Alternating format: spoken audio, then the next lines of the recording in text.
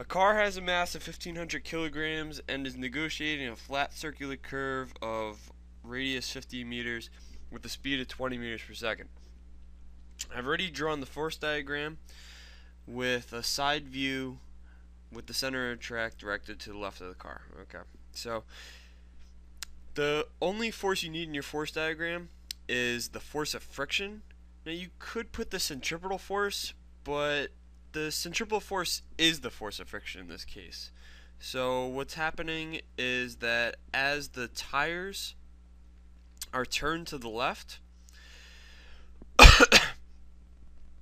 they're pushing against the ground to the right, and the ground is pushing back and forcing the car to the left.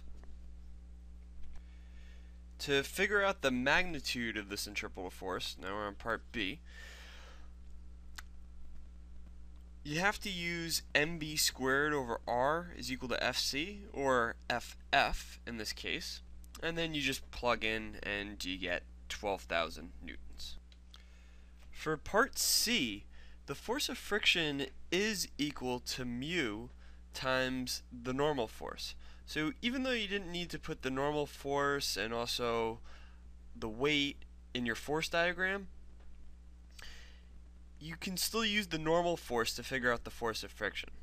And since the normal force is just going straight up, we don't have to do anything fancy with cosine theta or anything like that. So we can just use um, the fun formula. That's how you can memorize this. Fun.